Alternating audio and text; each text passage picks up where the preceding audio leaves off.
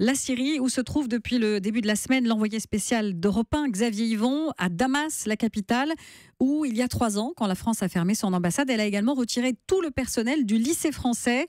Xavier, trois ans après, ce lycée fonctionne toujours, mais avec les moyens du bord. Oui, le lycée Charles de Gaulle de Damas est devenu l'école de la débrouille. Les parents d'élèves syriens se sont organisés. Il a d'abord fallu remplacer les profs repartis en France. C'est un archéologue français installé ici qui assure désormais les cours d'histoire géo. Une pharmacienne s'est plongée dans les programmes pour remplacer la prof de sciences naturelles.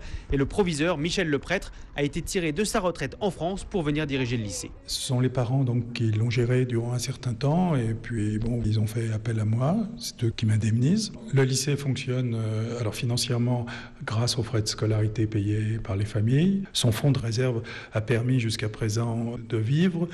Un jour, il s'épuisera. C'est l'affaire d'une année et demie ou de deux ans. Et heureusement, depuis, des parlementaires euh, amis, français évidemment, prennent sur leurs réserves parlementaires, ce qui à chaque fois rallonge l'espérance de vie du lycée. Faute de moyens, dans le CDI, le temps semble s'être figé quand on regarde les titres des magazines affichés sur les présentoirs. Le Nouvel Obs, alors euh, mai 2012.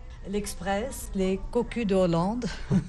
C'était août 2012. Nous sommes le dernier lien qui existe encore entre la France et la Syrie, dit une parent d'élève. Il ne fallait pas lâcher les enfants, renchérit une institutrice française qui, elle, a décidé de rester. Eh bien non, c'est pas grâce à la France.